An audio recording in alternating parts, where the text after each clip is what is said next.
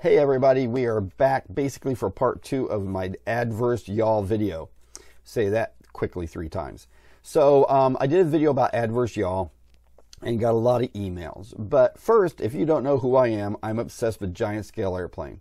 The um, airplanes. The airplane in the upper um, right hand corner of your screen is the MSL2, 188 inch wingspan, 58 pounds and sucks a glorious 160 amps of electric power on takeoff. So this airplane, I had a lot of problems with adverse yaw when I was first dialing it in. So if you didn't see my first video, I'm going to recap really quick what adverse yaw is. So as an airplane's flying along happy and it's got blue skies, unlimited visibility, the barometric pressure's at 2992, it's a perfect day. It's just flying along. But when it goes to turn, it has to have ailerons come down well, technically you could turn on a rudder, but let's talk about using the normal controls of an aircraft. So as that aileron comes down, it makes this wing produce more lift. Okay? Anytime lift is created, energy is used. That energy creates drag. As the aileron comes up here, it makes the wing produce less lift, which is less energy and is less drag. So as you go to turn left, which is right on your screen, the right wing creates more drag, and that's adverse yaw. So you're flying along and you turn left and you're like, wait a minute, why is my no- nose pointing over there? Sometimes you fly an RC model and you fly by you're, and, and you're in a turn, you're like, why is my tail low?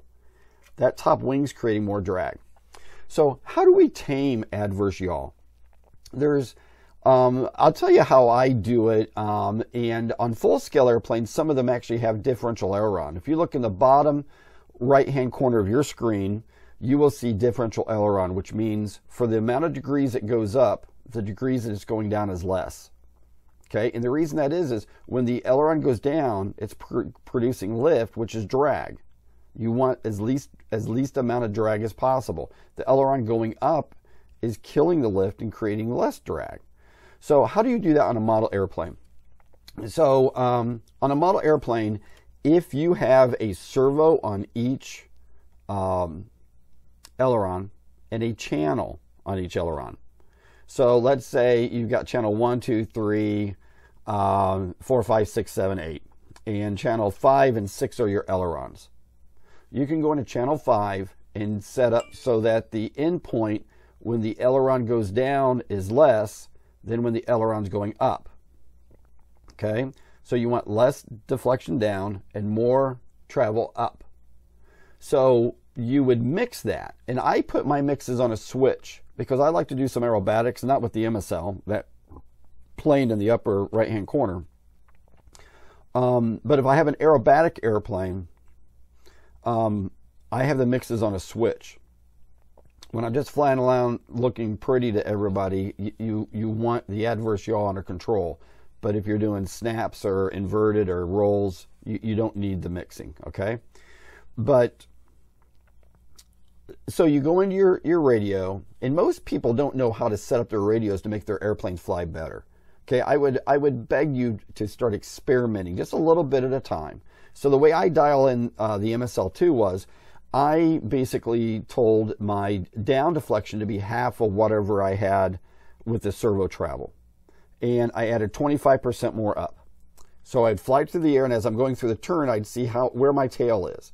If my tail's still way down here, I would try to give more up deflection on the aileron. Now, if the ailerons wouldn't solve it completely, then you trim in some rudder, a couple of degrees. Okay, so you would trim the rudder channel into your aileron, so when you're moving your ailerons, your rudder's moving a little bit. Okay, now keep this on a, a switch so you can turn it on and off because if you're getting into crosswind landings or slipping, all these cross controls can get a little wonky on you.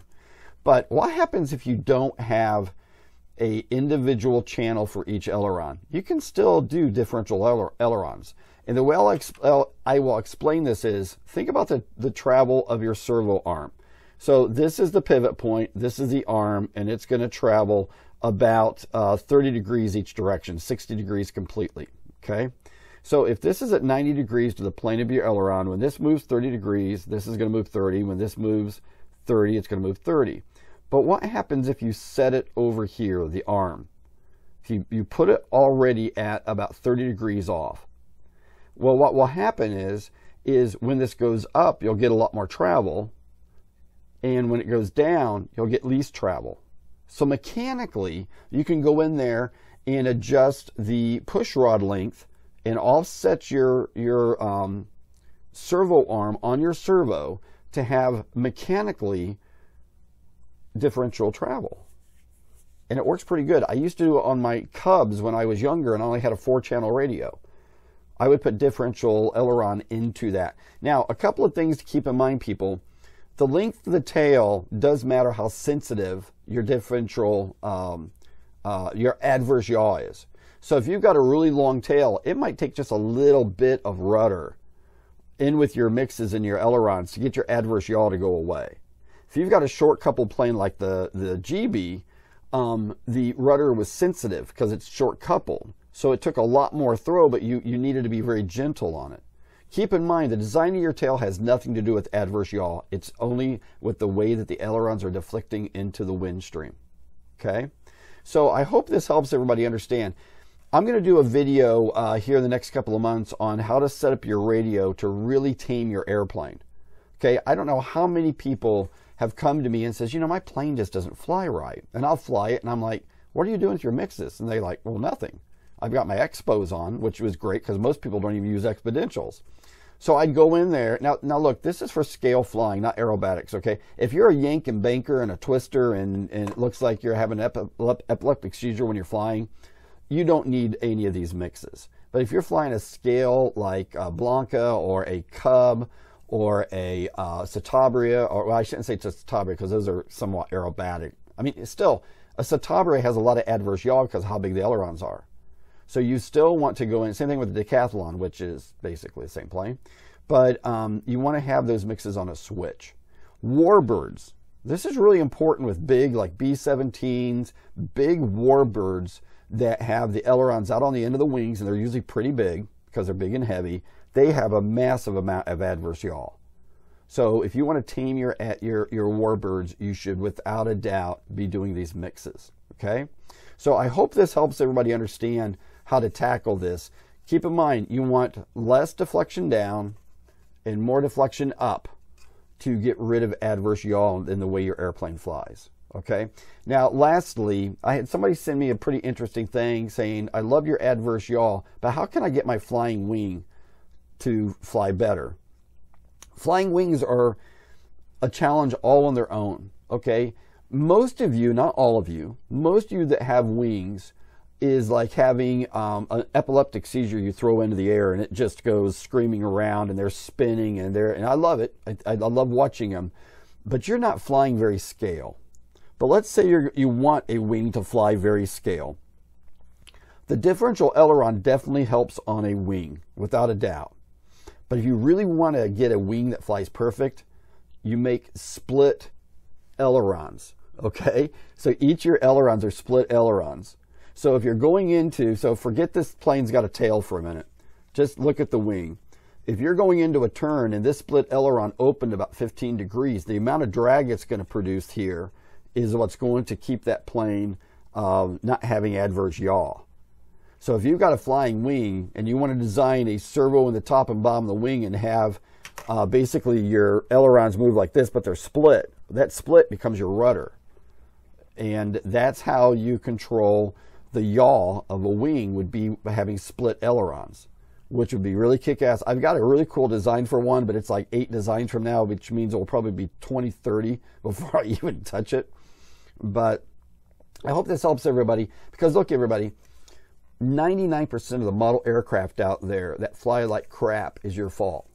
You've either screwed up the incidences, you've screwed up the CG, you've screwed up your throws. Airplanes like to fly, and most of them are sitting there with anxiety attacks saying, Please don't set me up wrong and make me look stupid in the air. I mean, think about the emotional stability of your airplanes when they look like crap up there. They hate it. So, I hope this helps everybody. Keep the emails coming. I don't use Messenger on Facebook. If you're on my Facebook, I get like 200 waves and highs and all this stuff a week. I love it. I just don't have time to answer all of those. So um, my uh, email is easy to find either here on YouTube or it's on my Facebook. And uh, like and subscribe. Well, actually, subscribe. I don't care if you like my videos. Subscribe so you can see the updates. And if you've never visited my Patreon, go to it because that's where all my 3D and aircraft designs, and I should say, all of my aircraft designs and my 3D models I designed for 3D printing live. So rock on, everybody. Have an awesome day and go fly and uh, be awesome. Take care.